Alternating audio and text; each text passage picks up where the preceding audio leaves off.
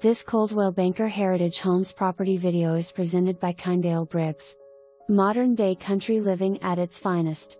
Conveniently located just 15 minutes from anywhere you would want to go in Crittenden County, this home sits on a private, semi wooded 1.51 acre lot in Proctor.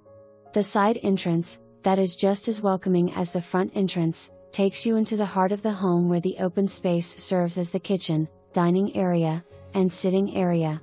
From the front door entrance, you have a cozy living room with a wood burning fireplace to your left, and to your right is the main floor's half bath. Down the long hall you'll find the two guest rooms that share a Jack and Jill bathroom. If you enter from the garage area, you'll find the laundry slash mud room. The master suite is located towards the back of the home, with an ensuite bathroom and walk in closet. The master bedroom also opens up to the screened porch.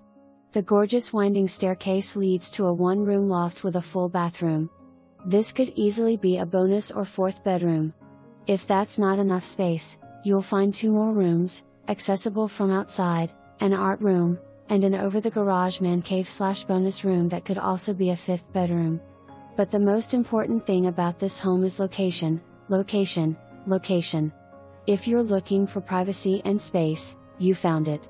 Located at the end of a private drive, surrounded on three sides with oak and maple trees, a field goal in the backyard for endless outdoor fun, this isn't just a home, it's a destination. For more information, review the details.